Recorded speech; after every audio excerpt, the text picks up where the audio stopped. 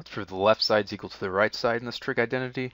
What we're going to do here is I'm going to go ahead and start with the numerator so I get sine alpha cosine beta plus sine beta cosine alpha. Then on the bottom, I'm going to get sine alpha cosine beta minus sine um, beta cosine alpha. Now right here, I'm not going to be able to do anything, but there's a trick I can do, and in this case, I'm going to multiply both the numerator and denominator by 1 over cosine alpha cosine beta.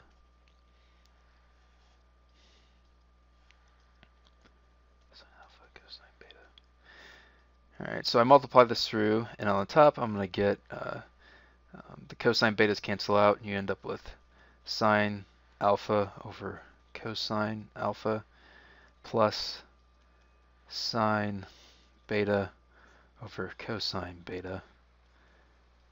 Yeah, I might as well just show everything here.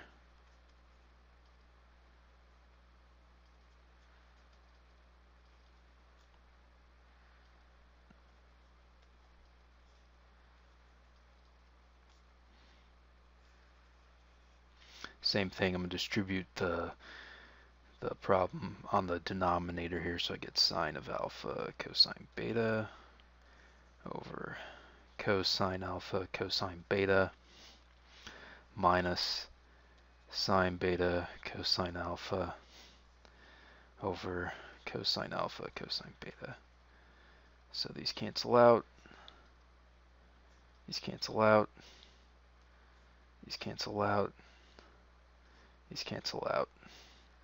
So I'm going to be left with the numerator, tangent alpha, plus tangent beta all over tangent alpha minus tangent beta, which is what we're looking for in the first place. And that's it. There you have it.